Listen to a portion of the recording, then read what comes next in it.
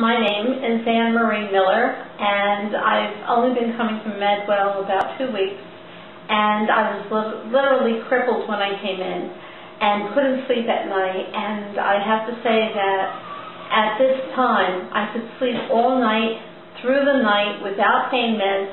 I don't use a cane. I just can't believe the, the difference between my condition when I came in and today.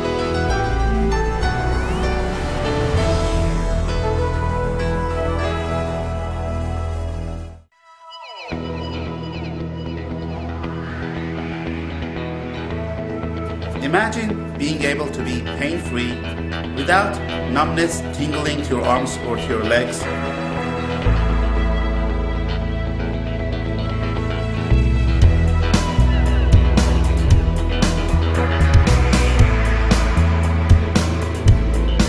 I help and enable people like you with families like yours to be able to live longer in this planet. At this time, I want to ask you permission to help you. The choice is yours.